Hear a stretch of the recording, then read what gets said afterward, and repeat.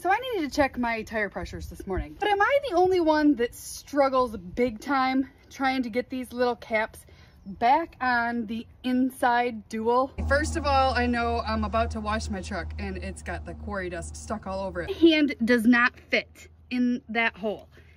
So I'm curious, did I just stumble onto something that every other truck driver on the planet already knows? These are the valve stems where if they're not coated in dirt, you can actually check the tire pressure with leaving the cap on, but uh, yeah, that's not working so hot.